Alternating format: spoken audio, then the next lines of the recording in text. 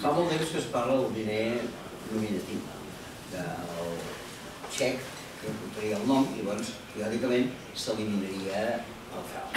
Però bé veig dos punts. Primer, que ho fa tot el món, o sempre tu aquí podem intercanviar un diner nominatiu, però pagar-te a Itàlia o Portugal no tinc un nominatiu, és una mica perillós. I segon, eh, jo sempre, suposo que per història política, he tingut por de la vigilància policial i tinc impressió que això seria un control social extraordinari.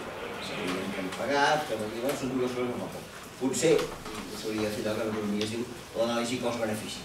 Seria més alt el cost seria. A mi no em fa, no em fa gaire gràcia. Sé que hi ha propostes d'aquest estil.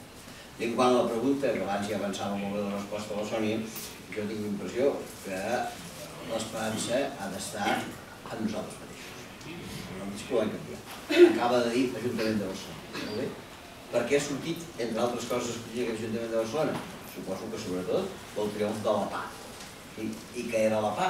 Doncs una plataforma de gent que es negava a admetre els desnonaments i que es va associar, va perdre la por i va tirar endavant. Ara fa cosa de tres setmanes, i més d'un de vosaltres podríeu ser, a l'antiga fàbrica Fàbric Coats de Tèxtils de Barcelona es va fer la fira, penso que ja es va eh, la fira d'economia social. Si no volen el sistema aquell que el canviem, anem a construir un altre, no dic que això, això seria esperança. Ja